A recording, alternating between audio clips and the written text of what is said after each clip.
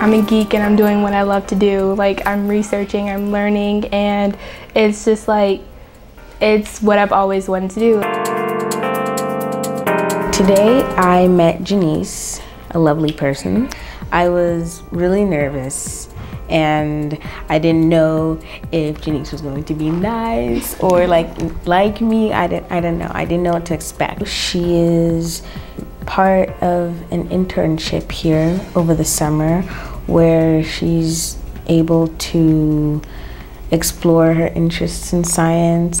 The honest question like my freshman year of college like even going in when i was a senior and applying for schools i was still applying for like a chemical engineering major. People will actually tell me like to change my major and make it easier for yourself. Like i would feel like i'm cheating myself. I honestly didn't think that i would be able to give like a lot of insight to anybody about this because i'm still learning myself so i thought i was going in over my head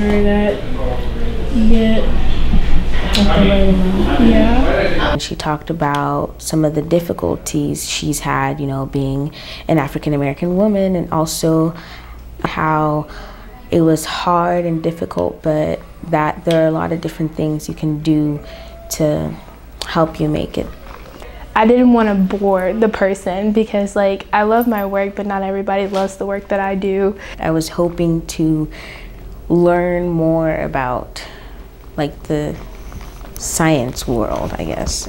Something that I really wanted Emma to know is that it's a great field to go into, that it's not what people think it is, just like lab coats going in every day. We're bubbly people. We love we, we are geeky as well. We love doing our research, but we love to have fun. We love to laugh, and we love the work that we do. And it's not just because we want to be the smartest person in the world. It's because that we want to like better our community as much as we want to like learn.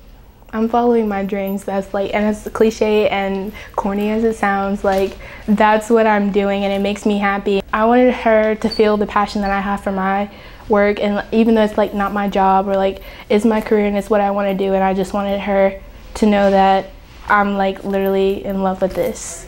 So hopefully that's what she got out of it.